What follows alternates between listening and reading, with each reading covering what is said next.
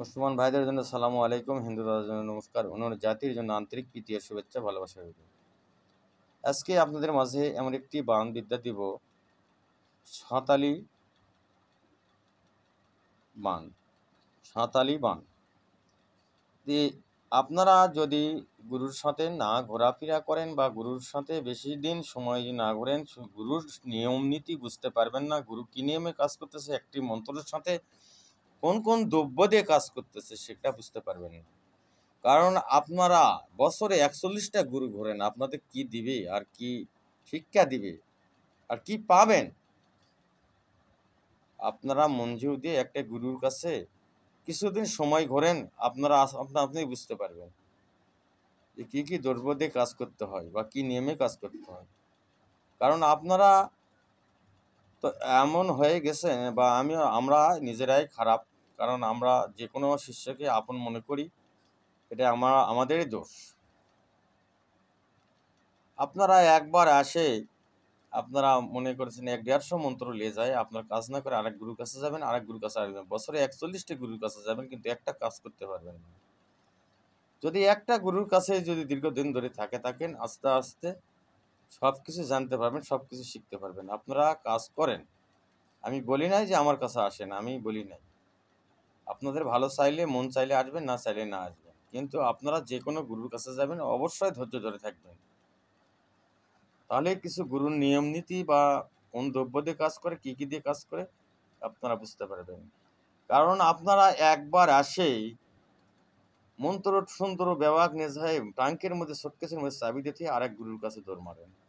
আপনাদের দিতেও তো আমাদের সমস্যা বা গুরুরা দিতেও তো আপনাদের সমস্যা। কারণ আপনারা দৌড়ের উপর আছেন যে কোথায় পাবো? সাধন করবেন না, ভোজন করবেন না, আপনারা মনে করছেন যে বাজার থেকে কিনে নিয়ে আসে যেমন আত্মীয় স্বজনকে সম্মান করা হয়, এরকম আমি করব। ভুল করবেন।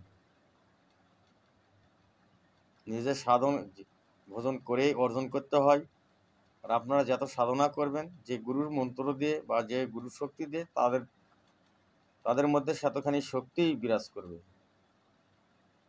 আজকে যে বানটা দিচ্ছি, আপনারা অবশ্যই গুরুর অনুমতি নেবেন বা বুঝে সুঝে কাজ করবেন। এই কাজটি অনুমতি কোনো গুরুর কাছে না নিয়ে যদি করতে চায়, আপনারা কোনো ক্ষতির মুখে পড়েন বা এক হাত, এক পাও চলে যেতে পারে বা জব বন্ধ হয়ে যেতে পারে, আমি বা আমার চ্যানেল দেয়। অবশ্যই আপনাদের সেই রকম একটি গুরুর কাছে আপনাদের অনুমতি নিতে হবে এবং সেই গুরুর কাছে অবশ্যই তোমাদের যোগাযোগ করতে হবে। আমার কাছেই আসতে হবে, আমি বলি নাই, যার কাছে ভালো লাগবে তার কাছেই যাবে।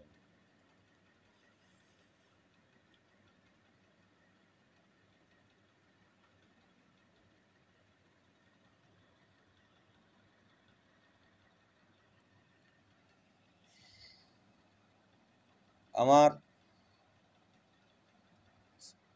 শিষ্য জাহিদকে আমি দোয়া করি, আল্লাহ যেন ওকে সর্বকাজে জয়লাভ করায়। কাতারের মামুনুর রশিদকে আমি দোয়া করি, সে যেন সর্বকাজে জয়লাভ করে, বিপদ আপত্তি আল্লাহ যেন মুক্ত করে।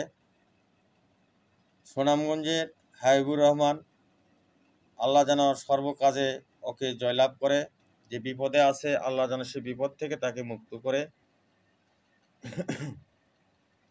এবং আমার যে সকল শিষ্য আছে। আমার কাছে একদিনও যদি এসে থাকে, তাহলে আমি তাদের জন্য দোয়া করি, আল্লাহ যেন সর্বকাজ জয়লাভ করায় বা করতে পারে।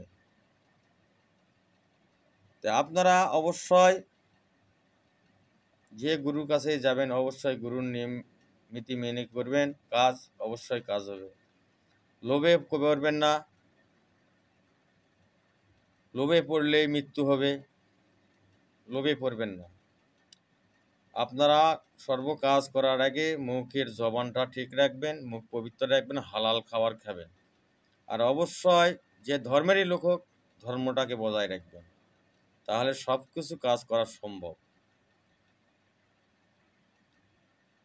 আপনারা কোনো ধর্ম মানবেন না, কোনো আল্লাহর হুকুম মানবেন না, নবীর হুকুম মানবেন না, হালাল খাবেন না, মুখ দিয়ে মিশা কথা ছাড়বেন না আর আপনারা মন্ত্র, লক্ষ লক্ষ মন্ত্র নেবেন বিভিন্ন গুরুত্বে নিয়ে গুরুদের কাজ হয় না।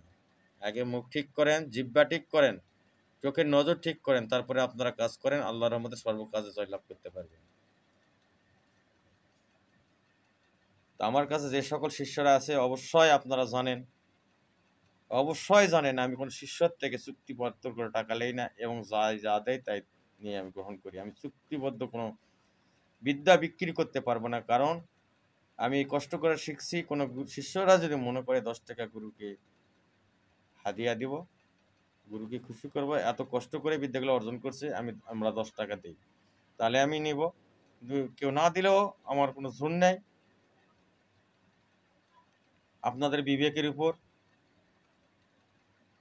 কারণ আমি হারাম কাজ করব না বা হারাম টাকা খাব না, আমাকে কবরে যেতে হবে। আমার কবরের চিন্তা আগে। তান্ত্রিকে হলে হোক, না হলে না হোক, আমার কোনো যায় আসে না, কিন্তু আমার কবরের চিন্তা আগে। আমি হারাম খাই কবরকে দুনিয়ার থেকে শেষ করতে পারব না। এতে ভালো লাগলে আমার কাছে আসবেন, না লাগলে না আসবেন। আপনারা ভালো থাকেন, সুস্থ থাকেন। সালামু আলাইকুম।